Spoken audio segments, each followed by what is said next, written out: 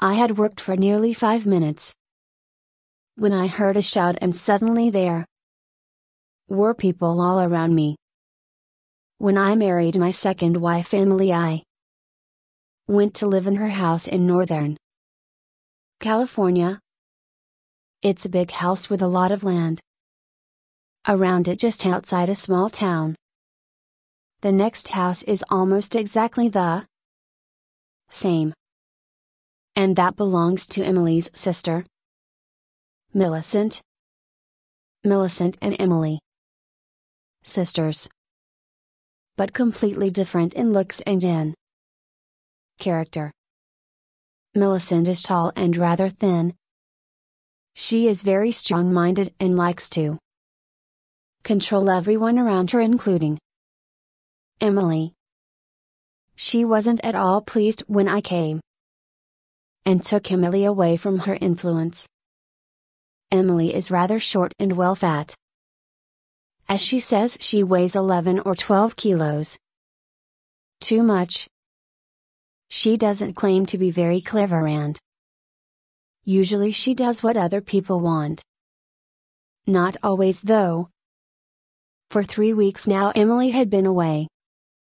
That Millicent had been watching me closely. She was with me now drinking coffee in our sitting room. The telephone rang and I answered it. Yes. Hello, dear. This is Emily. Emily, uh? What is your surname? Oh, really, dear Emily, your wife. I'm sorry, you must have a wrong number. I put the telephone down. Millicent was watching me. You look as white as a sheet. You seem frightened, it's shocked. We're telephoned. It was a wrong number. Millicent drank some coffee. Oh, Albert. What I saw Emily in town yesterday. But that's not possible. Of course, it's not. Emily is in San Francisco. Yes, but where in San Francisco? She didn't say. She's visiting friends. Emily doesn't have any friends in San Francisco.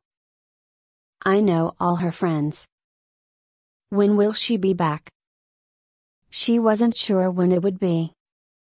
I've heard, Albert, that your first wife died in a boating accident. She fell out of the boat and died in the water.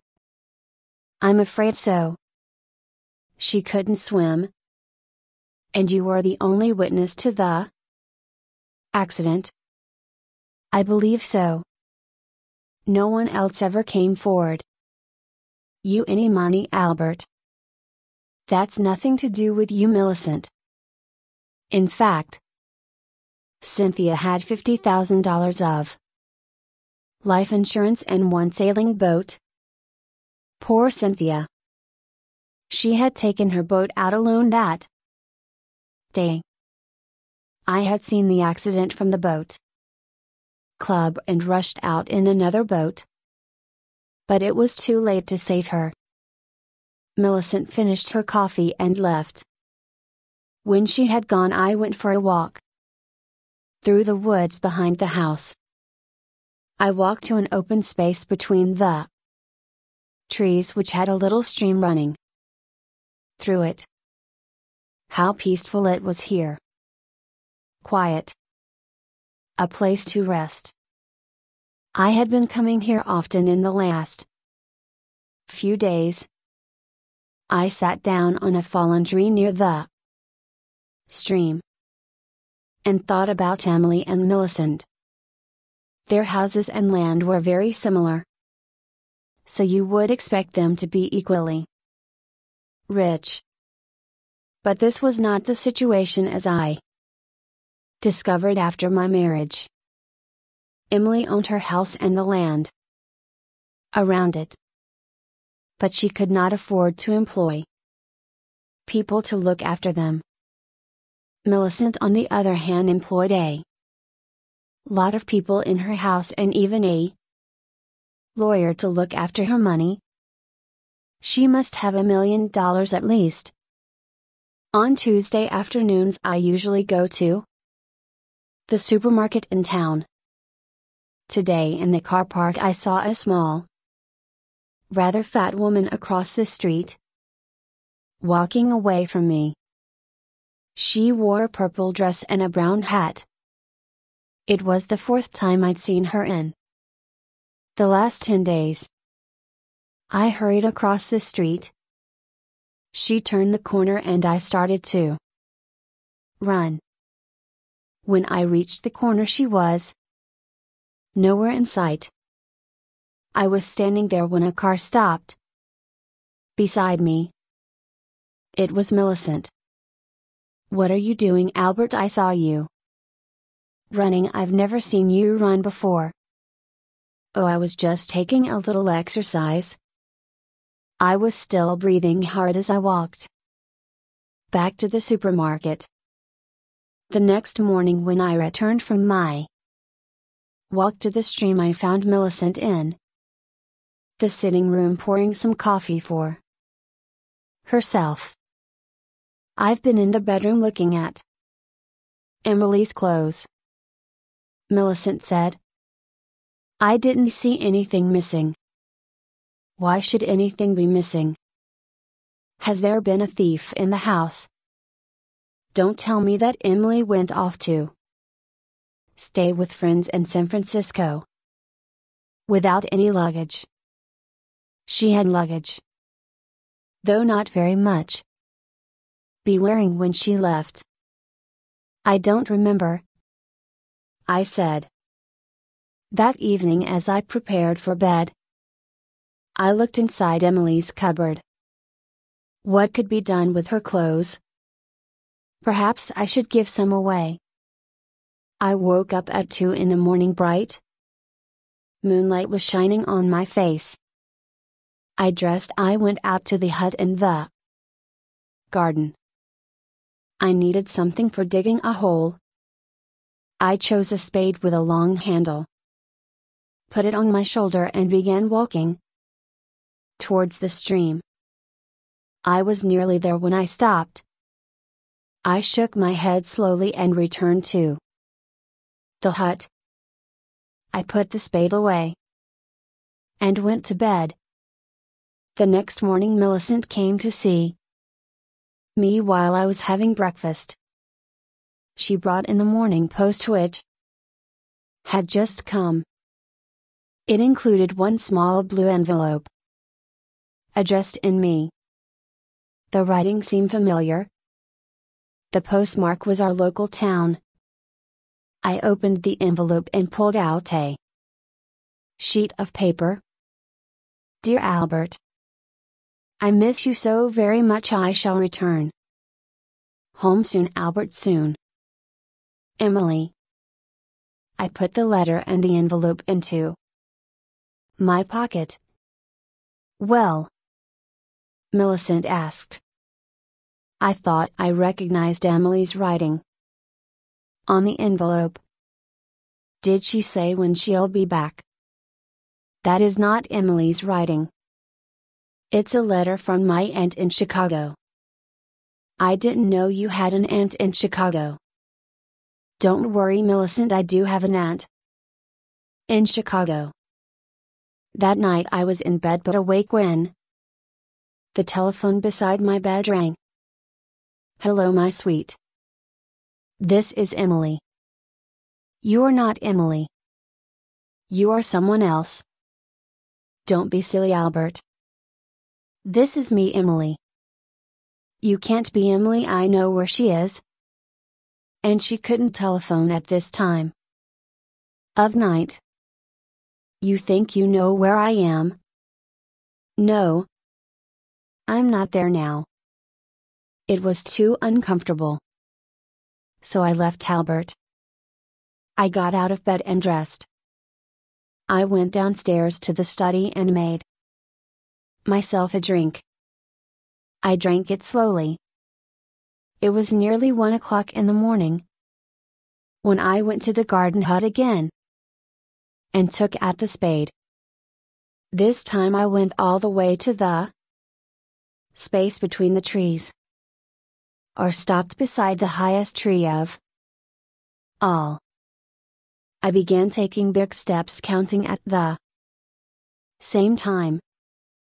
1, 2, 3, 4, are stopped at 16. Then I began digging. I had been digging for nearly five minutes when I heard a shout and suddenly there were people all around me, shining lights in my face. I recognized some of the people who worked for Millicent, including her lawyer. Now Millicent herself stepped forward. So you wanted to be sure she was really dead, Albert. And the only way to do that was to return to the place where you buried her. I am looking for old Indian knives. I said. There's a belief that if you find one in the light of the moon, it will bring you good luck. Millicent took no notice of this. She pointed to some people I didn't know. These are private detectives. She said. They have been watching you 24 hours a day ever since I guessed what really happened to Emily. She pointed at a small, rather fat woman. That's Mrs. McMillan, she was the woman in the purple dress, and she copied Emily's writing. And this is Miss Peters. She is good at copying voices, and she was the voice of Emily you heard on the telephone. There were also two detectives who had brought their own spades. Now they began digging in the hole which I had started. We knew you were getting worried, Albert, said Millicent. You almost dug her up last night, didn't you? But then you changed your mind. That was lucky. Because last night I didn't have so many people to watch you. Tonight we were ready and waiting. The detectives dug for about 15 minutes. And then paused for a rest. This ground is very hard. Said one. They went on digging until the hole was two meters deep. Nothing has been buried here said the other. The only thing we found was an old Indian knife. I smiled at Millicent. What makes you think I buried Emily? I left them and returned to the house.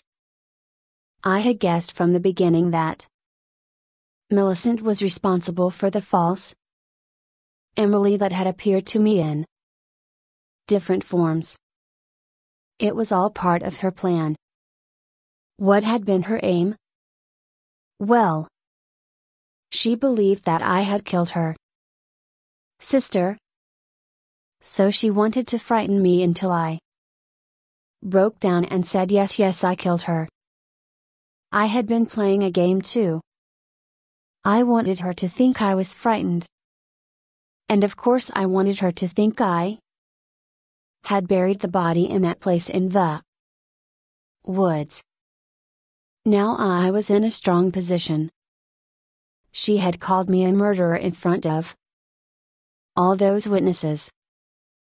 I could take the matter to a court of law and demand a large sum of money from her. But she wouldn't want to let that happen. She wouldn't want the world to know she had been stupid. She would prefer to pay those people to keep silent. Would that be possible? Well, it would help if I supported her. Story and said that nothing had happened. At all. And I would do that for Millicent. If she gave me some money. A large amount of money. At the end of the week, my telephone rang. This is Emily, I'm coming home now, dear. Oh, great. Did anyone miss me? They certainly did. Haven't told anyone where I've been. These last four weeks have you, Alberts? Actually, not Millicent. I told her you were visiting friends in San Francisco. Oh dear. I don't know anybody in San Francisco. Did she believe you? I don't think so. Well, I couldn't tell her I was going to a health farm to lose weight. I would be ashamed. And I wasn't sure that I would manage it. But I have Albert, I have. I've lost 14 kilos. My figure must be as good as Cynthia's. Now. Well done, Emily, that's great. Why is Emily jealous of my first wife? They each have their place in my heart. Yes. But now none of my clothes will fit me. I have to get a lot of new clothes. Do you think we can afford it, Albert? Ah. We can now.